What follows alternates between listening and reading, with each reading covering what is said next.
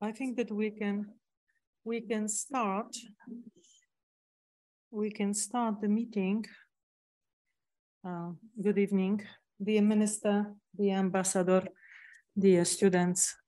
I am so happy that it is possible for us to meet uh, at, at, at the evening uh, to, to discuss very important issues. Everybody knows that today energy crisis uh, is uh, everywhere um, discussed, uh, not only in academia, uh, but also in political circles at the European Union level. Uh, we know that energy, energy ministers, EU energy ministers meet uh, almost three times in months at extraordinary meetings. So energy crisis, energy security is a topic on the top agenda in Europe, not only in Europe. That is why we decided to invite you to come today and to listen to our honorary guest, to whom we are very grateful that he um, agreed uh, and accepted uh, our invitation. Uh, Minister Yaroslav Demchenkov, Deputy Minister of Energy of Ukraine, and uh, lessons uh, which we in the European Union we can uh, we can take from this uh, how to say from this situation I, which was created not only by the war but uh, mainly by the energy blackmailing uh, Europe uh, by Russian Federation. I think that these lessons should stay with us and on the basis of these lessons we, we will take and many of them can be taught uh, by Ukraine uh, to European Union and these lessons will create the base for creating a real energy energy mm, policy within uh, the European Union. So I would like to, to, to say that it is so important to discuss, it is uh, so important to be au courant with what is going on in this field. That is why, as I said, I am so grateful once again to Minister uh, for your for your time, uh, for your willingness to meet with our students at the College of Europe in Natolin to discuss it.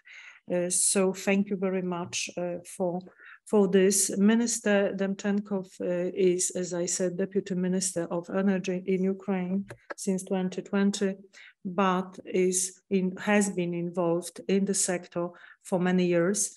Uh, he was working in the um, in the projects um, organized by the international organizations. He was very active also in the political life in Ukraine uh, for, for, for many years.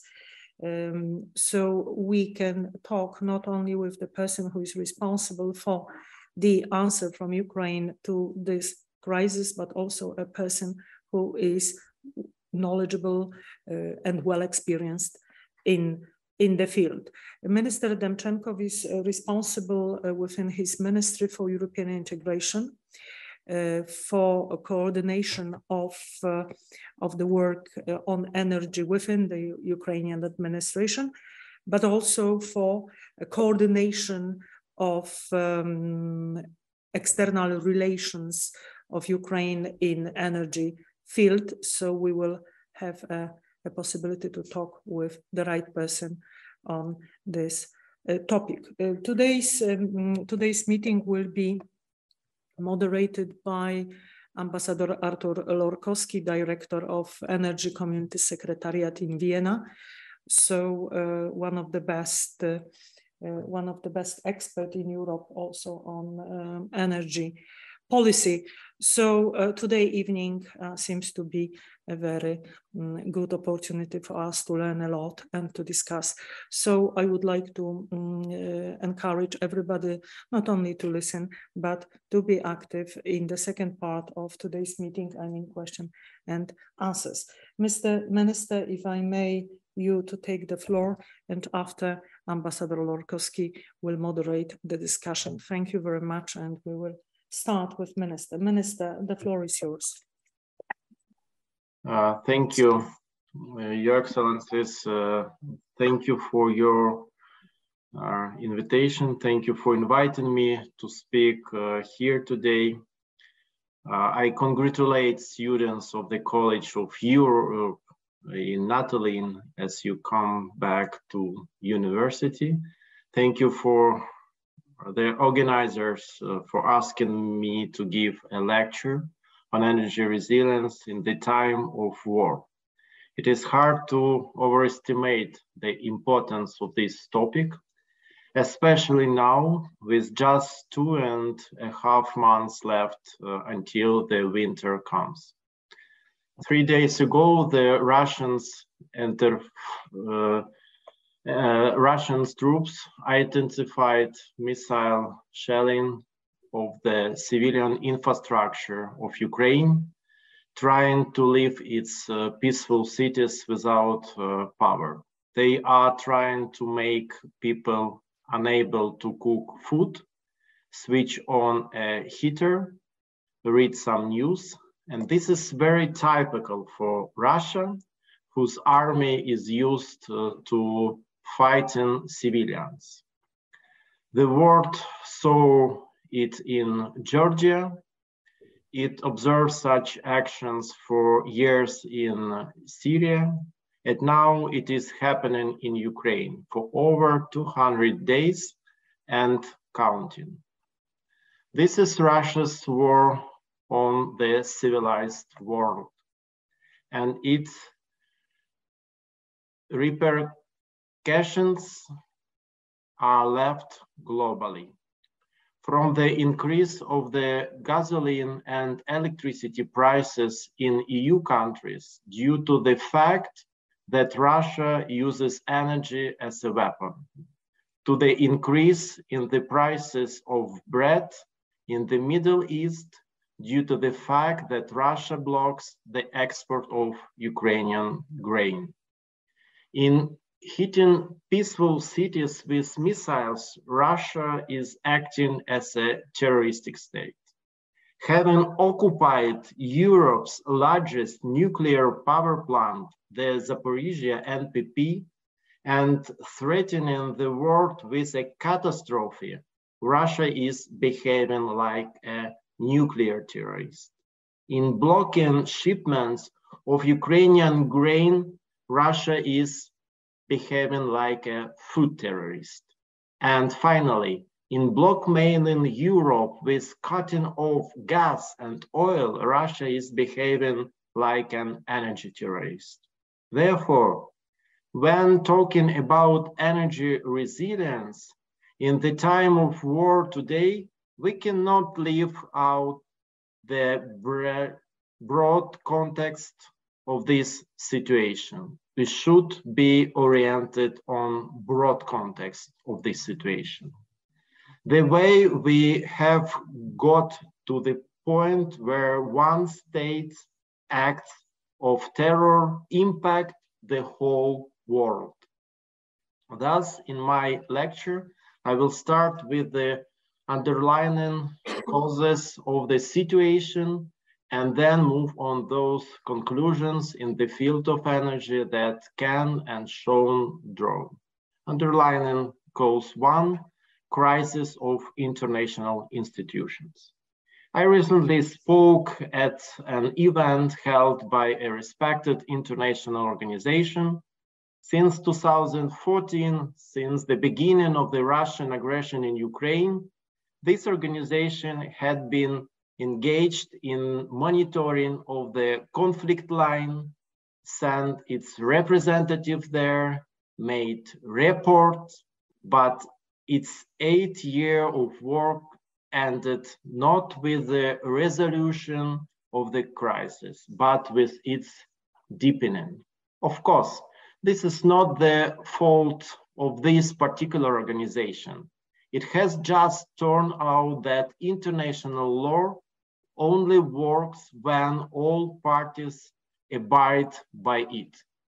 Today, after 202 days of full-scale war in Ukraine, we see the paralysis of key international institutions. Prisoners of war being torched, rapes, mass murdered, seizure of nuclear uh, facilities, it turns out that a terrorist state can do anything if the international community has only deep concern as its sole means of influence. In primarily impunity that works as an indulgence for war criminals. As long as this feeling of impunity is possible, humanity will be horrified by the crimes being committed in Aleppo, Mariupol, Bucha, Irpin. Evidently, the international system that was built after the Second World War in order to make the Third World War impossible requires modernization. The world has changed in 70 years. So international institutions need to change as well. An example can be shown. I can call it uh, otherwise regarding the issue of the Zaporizhia nuclear power plant in Ukraine at the UN Security Council. When the one who has to answer sits at the table and dictates the rules of the game, while the presence of Russia in the international organization is sitting and still significant, this is blocks the full-fledged work of these organizations. Recently, the International Atomic Energy Agency mission published a report, but did not say the main thing, that Zaporizhia plant is occupied by Russia, that the threat to nuclear security comes from Russia, and that the deoccupation, demilitarization, and return of the Zaporizhia plan under the control of Ukraine is the only way to ensure nuclear safety. This is understood by all members of the UN Security Council. Unfortunately, not Russia. But unfortunately, the IAEA does not say it. Underlining calls to illusions. It cannot be said that Russia's aggression caught the civilized world by surprise. To be more precise, it did not catch the world by surprise precisely because for a long time, some leaders wanted to ignore threatening signals and conduct businesses as usual with Russia. It was not because they believed it would work. Rather, they did so because it was convenient. In 2008, Russia attacked Georgia, testing the response of the international community. The international community responded by allowing Russia to begin constructing of the Nord Stream 1 gas pipeline in 2010. In 2040, Russia annexed Crimea and occupied parts of the Ukrainian Donbass. With the same goal in mind, the world responded with half-hearted sanctions on the one hand and the start of construction of the Nord Stream 2 on the other.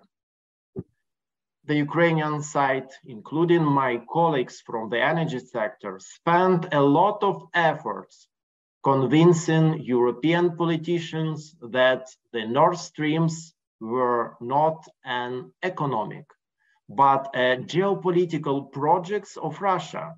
However, the cheap gas illusion was more powerful than thousands of deaths in the Ukrainian Donbass and Georgia.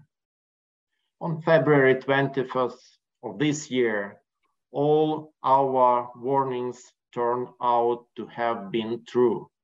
It has become critical, clear that Russia has only one economy and it's oriented not on improving the lives of its citizens, but on beefing up its military.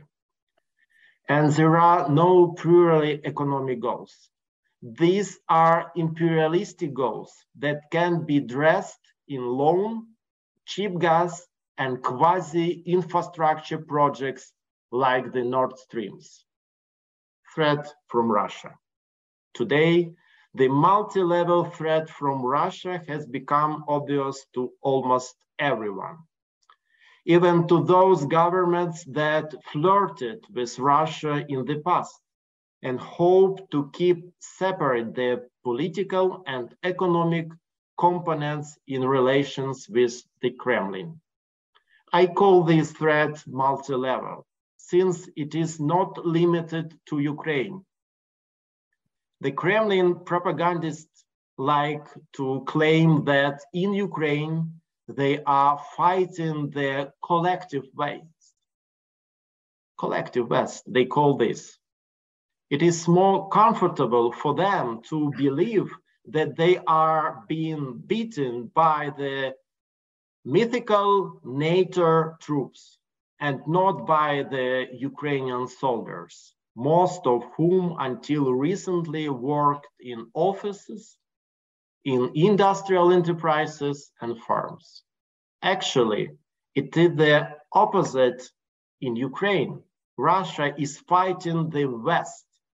It is fighting the Western values and principles. It is fighting democracy and freedom. Just in February of this year, Freedom House, a watchdog, published a report saying that autocracy is making progress in the struggle against democracy, that authoritarian leaders are working together to consolidate power and increase an attack on democracy and human rights. And literally, right after this report was released, autocratic Russia began a full-scale war in Ukraine. This resulted in massive civilian casualties, war crimes, and destruction of critical infrastructure.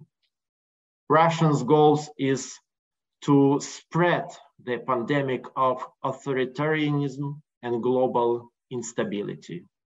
To achieve this goal, Russia employs various weapons, various weapons, missiles and bombs, venal journalists and politicians, gas and oil, energy and nuclear blackmail. All these make up the multi-level threat from Russia. And this, then that's why Russia and its satellites pose a threat to all of humanity today. Three chief conclusions we must draw for the future the aggressor cannot be stopped by concessions or concerns. It can be stopped only with a show of force. Hitler understood the language, this language alone. Putin and other dictators understand only this language today, the language of force with attacks on Georgia and Ukraine, Putin warned others of these intentions. But many politicians wanted to believe in the illusion of cheap energy and doing business with Russians based on civilized practices. Today, Europe is paying for this knowledge with rising price and Ukraine, Ukraine with tens of thousands of lives. And the last conclusion, the existence of imperial Russia poses a multi-level threat to global security today. This includes also energy industry, energy resilience.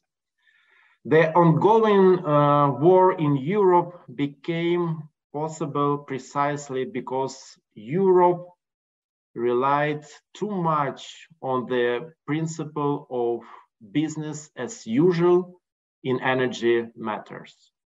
Meanwhile, for Russia, it was no business at all, but rather a long-term strategy aimed at destroying the democratic world. This is the Russian way. It uses energy resources to finance its imperialistic wars. And it uses wars to blackmail the world with energy resources.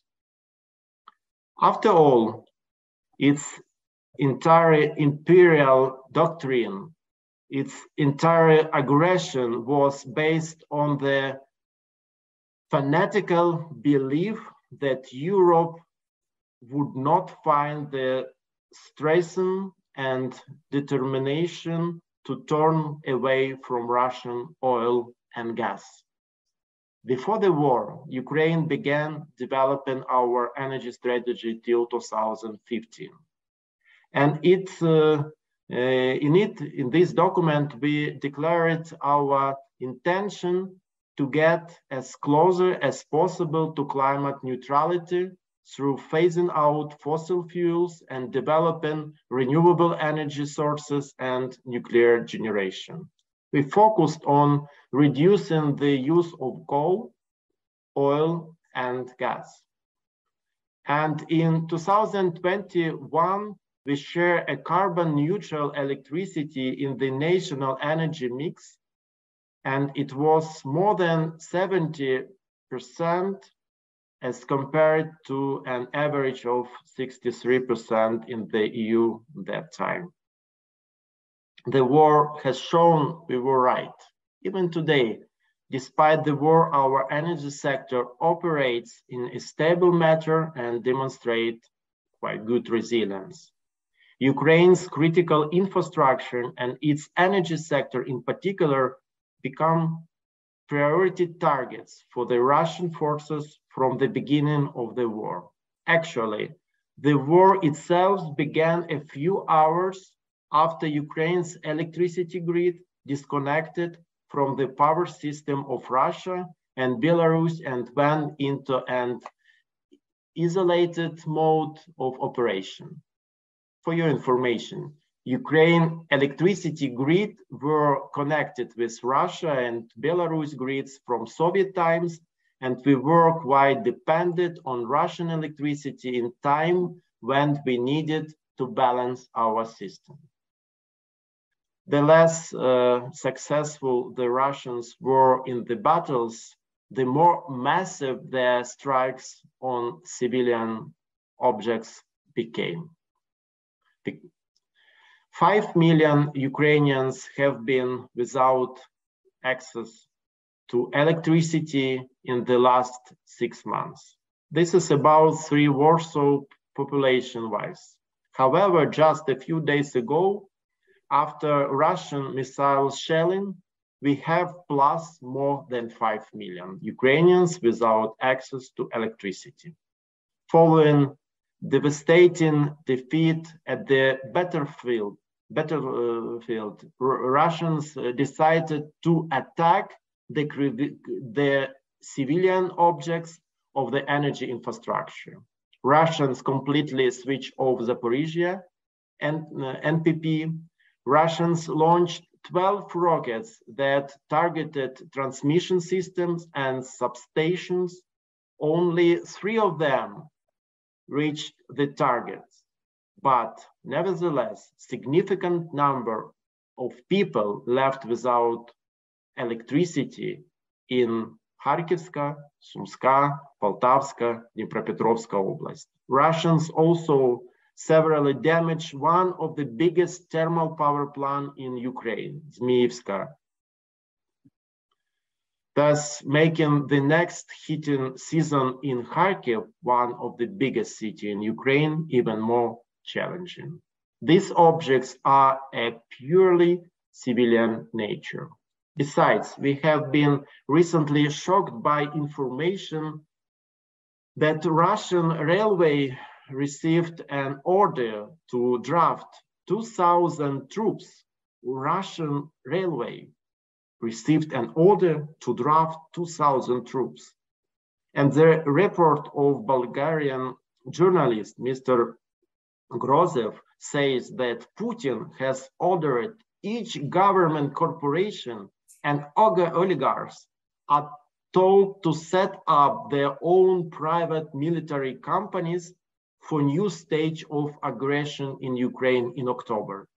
So Gazprom, Rosneft, other company with private military companies. This is beyond any imagination. As of September, 30% of thermal generation, more than 40% of solar generation, and 90% of wind generation in our Ukraine, in our country, were destroyed or taken over by the Russians. Thus, the actual destruction level is higher. We do not have the ability to pro protect all term, uh, transmission lines thermal power plants and substations. However, the professionalism and heroism of our energy industry workers as help uh, uh, as well as uh, the help of our partners allow us to restore the damages infrastructure as quickly as possible. And I want to use this opportunity to thank Artur Lorkowski, the director of the Energy Community Secretariat, who is present here for the secretariats and his personal efforts to help the Ukrainian energy sector for the equipment that Ukraine has already received and for the very initiative of the Energy Infrastructure uh, Reconstruction Fund. I also want to thank Poland for the extraordinary support that Ukraine has felt since the beginning of the war, both at the official and private levels. And uh, I am sure we will have a lot of joint projects after the war. This is really will be good uh, to have more close cooperation with uh, our Polish uh, colleagues. The war alters our plans. But the general line, which is uh, phasing out fossil fuels as fast as possible, remains unchanged. Moreover, phasing out hydrocarbons, which until uh, February 24 of this year had an uh, exclusively environmental dimension, has now become a key energy security issue and not only for Ukraine, but for the entire civilized world. The Russian aggression in Ukraine, top of the Kremlin, uh, to the top of the Kremlin's mask. And everyone saw the obvious Russian energy resources are a weapon that the authoritarian regime uses against the European values and principles, against democracy and freedom. But Russia is also fighting against climate neutrality and a sustainable future as such. The whole economy of modern Russia is driven by hydrocarbons. For the Kremlin, every step in the direction of climate neutrality is a nail in the coffin.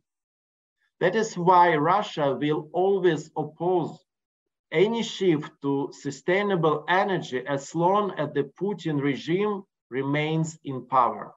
And Russia will especially try to use its leverage now on the eve of the winter season, hoping that higher energy bills and lower temperatures in homes will shift public attitudes in Europe, and the EU leaders will have to agree to Russian energy blackmail. This situation clearly shows that a carbon-free fu uh, future and sustainable energy is the only possible way forward to make sure that energy is not used as a weapon and human development does not pose a threat to the environment. Europe's rushed phase out of Russian energy resources will not be easy. The Kremlin octopus has spent far too much time entangling the content with the tentacles of its oil and gas pipelines. But in order to better understand the difference in the price of such phase out for Ukraine and for the EU, I will allow myself to quote Volodymyr Zelensky's word to Russians. This is word of our president to Russians, said last, uh, uh, I think, few days ago, uh, late on Sunday night, when the Russians struck against energy facility with a massive missiles uh, uh, barrage. So, president said, even through the thick darkness, Ukraine and the civilized world clearly see these terrorist acts. Deliberate and cynical missile strikes on critical civilian infrastructure. Do you think that you can scare us, break us, make us conscientious you really did not understand anything, don't understand who we are. What are we for? What are we talking about? Read my lips. Without gas or without you, without you. Without light or without you, without you. Without water or without you, without you. Without food or without you, without you. Cold, hunger, darkness, and thirst are not as scary and deadly for us as your friendship and brotherhood and of the president's quote. And I am sure that cold, hunger, darkness, and thirst are not as scary for Europe as Russian energy resources and dependence on Russian energy. As uh, starving Russia's gas, as bloody Russian oil, as destruction of the very foundations of the European civilization. It will be a hard winter for us all. But at the same time, it will be the last winter of Russian energy blackmail.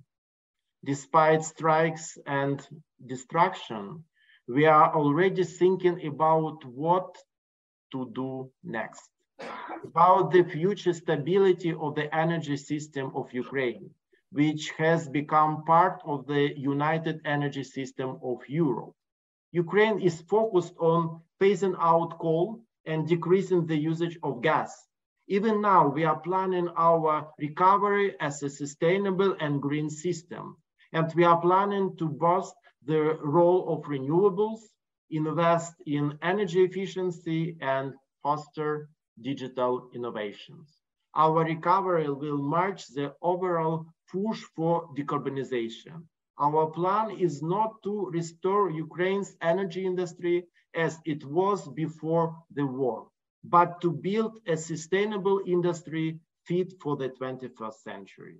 This means our energy mix will be growing even less dependence on fossil fuels and even cleaner. It also means that we will limit any options for the energy weaponization. The Irish Energy Ministry once said that No one has ever weaponized access to the sun. No one has ever weaponized the wind. Perhaps a move to clean energy will be the greatest peace plan the world has ever known. And finally, my conclusions. This crisis we are experiencing today is not the first and its kind uh, in the history of humanity. It's really difficult and tough time. We are appalled uh, by the fact that crimes such as those committed by the Russians have turned out to be still possible in the 21st uh, century. Previous crises were overcome through solidarity, and this will too. But it will not be a solidarity of deep concerns Rather, it will be a solidarity under which partners provide each other with weapons and necessary equipment, support each other at the levels of diplomacy and energy security. The international institutions which today are unable to deal with Russian terrorism were also created on the principle of solidarity. It is just uh, that over 70 years, uh, this principle imperceptibly disappeared, giving way to an empty uh, uh, procedures.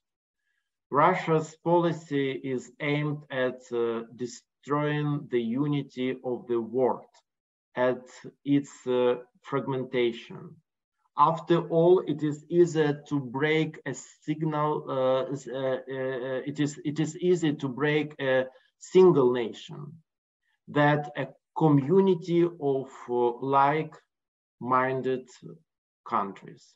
When we are together, we are we have power. It is easy to break a single nation. We, meanwhile, believe that security for all means security for everyone. Uh, this extends, uh, extends to the energy industry as well. That is why Ukraine is ready to supply its electricity to the European energy system in order to reduce the needs for Russian gas, even in this difficult period of time for our energy sector. That is why we are ready to provide half of our own gas storage space to create a European gas reserve. That is why we decided to deliver 100,000 tons of coal to Poland, which now needs it. EU sanctions on Russian coal and oil are about solidarity. The REPowerEU plan is about solidarity as well. We maintain its energy security. Uh, uh, the uh, civilized world has no choice but to completely phase out Russian energy resources. Just only to completely phase out Russian energy security this is just only one way to increase the level of energy security in our region. This consolidated position will be undermined Russia's war-making capacity more than any other actions. Thank you once again for your solidarity and for give me opportunity to share with you these ideas. Thank you very much, Minister Demchenko Yarosław, for uh, for your lecture. Um, and this very unique opportunity to listen to you experience uh, how the energy policy or your take on how the energy policy has been run before the war in Ukraine, but also why the Russian energy policy led to the weaponization of uh, of energy sources um, in the relations with uh, the European Union. But also what was extremely important for me uh, is to hear um, how Ukraine is thinking about the rebuilding process and the reconstruction process. What are the key principles in this regard? Uh, as well as uh, uh, I think it is ex extremely important to, to, to know and recognize the fact that calling for solidarity for Ukraine means not only to, to be a solidarity receiver, but also solidarity provider, what you have uh, very clearly stated uh, when you express the willingness of Ukraine to share with the uh, energy resources with the European Union amid the war. So thank you very much again for, for this very um, comprehensive lecture, uh, giving us, you know, insight in the Ukrainian, not only poly, energy policy considerations, but also um, some reflections on more geopolitical uh, level. Okay, okay. Uh, the minister I, I would like to express um, a gratitude of the Natolin community towards you for your readiness, your time, and uh, you you you know professional uh, contribution to the uh, to the to the lecture today. I think it was a great opportunity for all of us to listen, you know, on not only where Ukrainian is in uh, in terms of war, how you are working together with your colleagues from the companies to ensure the resilience of, of, of the energy sector, how you are providing electricity, gas, heat to, to your citizens. But also, I think that was very important for me to, to listen about the future on that what will happen after the war will cease and after after the victory of Ukraine, what I think it's um, dream of not all of Ukrainians, but also of the uh, the, the, the, whole European uh, community. So I would like to thank you very much for, for this contribution. I would like to thank you very much for your time again.